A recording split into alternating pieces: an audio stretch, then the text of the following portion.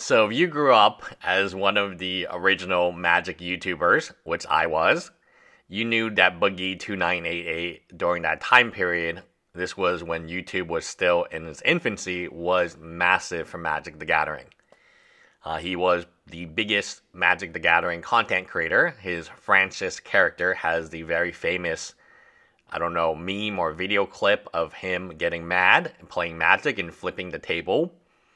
He did open Magic cards from time to time, and he actually did enjoy the job, or he enjoyed the game a ton.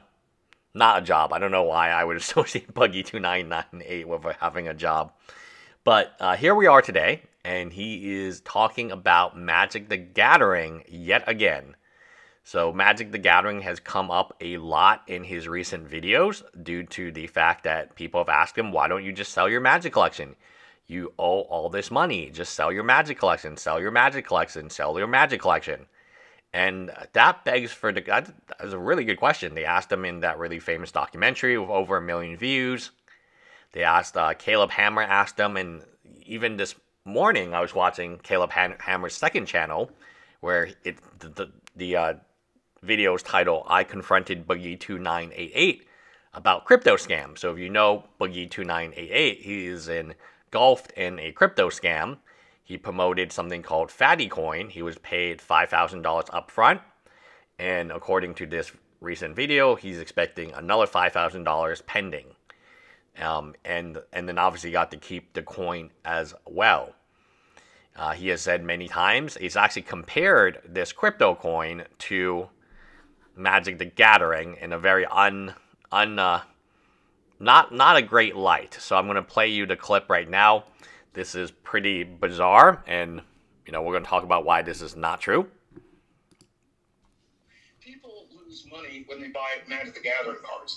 People lose money when they buy Beanie Babies. People lose money when they buy a pet rock uh, you're losing money when you purchase just about anything. So that's Boogie's view on Magic the Gathering. He views it as losing money, he views it as a pet rock, beanie babies, and obviously his crypto scam, Fatty Coin. It's just wild. Um, it's just wild. He went from being a really great ambassador for Magic the Gathering. I remember when he gave me a shout out when I was a newer channel called New Law Student, and that really did help that really did give me a few dozen subscribers, which was a huge at the time.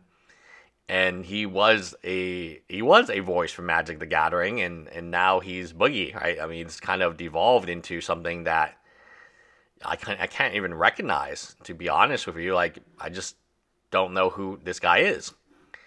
Um, he used to be the Mister Rogers, and and now, I mean, yeah, I mean, wow. Um, so my my um the reason I'm making this video is I'm gonna give you some advice. Uh, take it as life advice. As when you are in the pits, you need to stop. You need to sell your magic collection, and even if you don't want to sell it to me, I offer highest buy list plus ten percent even now. You need to just sell it because then you won't buy more of it. So in Boogie's documentary, the main problem is he sells his magic, he sells his Gaea's Cradle so he can enter a draft. Whenever you are buying magic cards, the magic cards you currently buy don't hold a candle to Gaea's Cradle. Gaea's Cradle. Let's call it Gaea's Cradle. Uh, the Gaea's Cradle that you have that you sold for $200 at a time is 500 buy list, so 700 easy sell on eBay. Yeah, that's not like to buy a few gaming supplies in a draft, the store is never going to make it go. It's never going to be, be a good deal if you go to the store and then you spend it on modern products. Modern products compared to something like Gaea's Cradle has no value, has such little value, and then to do a one to one trade. So many reasons, the, the, the reason that people sell their magic collections, I can tell you as someone who buys a lot, is often to fund their magic addiction it's crazy. They sell their most valuable cards so they can buy and draft a new set, and the new set sucks, man. Like you're selling your dual land, what? So you can buy Assassin's Creed collector box? Are you kidding me? Are you kidding me? Like this is ludicrous. You're selling your dual land so you can buy Lord of the Rings. No matter how great Lord of the Rings is, I guarantee you there's not a card called Underground Sea or even even something playable like it, it just doesn't make sense. Um, and I, I tell them all the time when they, when they come in my store, hey, this doesn't make sense what you're doing. I had um, a person and they went and they wanted to um, open some boxes and I know I know them. I know that their rent is due at the beginning of the month and saying, you know, I, I don't want to. You guys shouldn't do that. And no matter how much you tell them, they just they just do it, and I, I don't get it. So they're selling all their most valuable magic assets, right? Their dual lands or power nine, just so to open packs. And that's what Boogie is. You know, Boogie sells his magic cards only to buy more magic cards. But the magic cards, unfortunately, that he the, the the ones that you can sell are the really valuable ones, the very liquid ones. They're the easy ones to sell. The ones that you can buy are just trash. They're absolute garbage nowadays in terms of value. I'm not saying you know all creativity and diversity. It's all good stuff. But in terms of value, you take the old stuff over the new stuff. The new stuff has almost zero value long term, in my personal opinion, because they'll just keep reprinting it or make better versions of it. But you know, something like the dual. I always use the duals as an example, but you can use City of Traitors, you can use Survival to Fit. There, there are a lot of Gaea's Cradle. That's type of stuff, man. Like that's the type of like.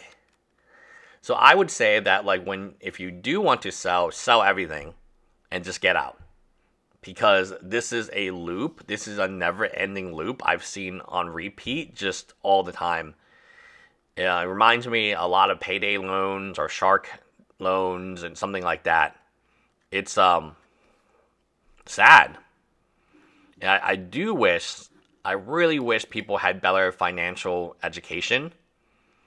Um, I wish I, ha- I had better financial education, to be honest with you, when I was younger. Uh, financial in- education is not high on what they teach in high school or even college.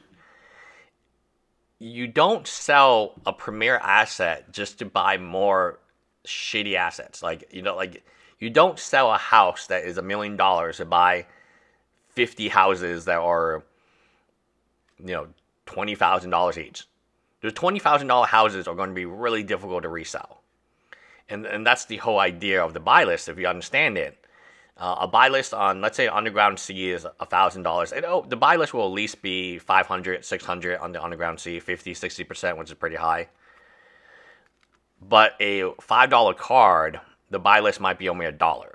So if you take actually the percentage that people are paying, uh, if you take a $2 card, it might be 25 cents for the buy list.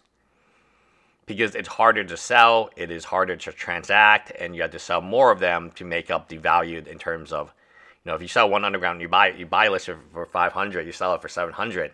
So it's $200 up. Now, how many 25 cent cards do you need to sell? Or how many $1 cards do you need to sell to recoup that $200 up? A lot. A lot. Anyway, let me know what you guys think in the comments below. Guys.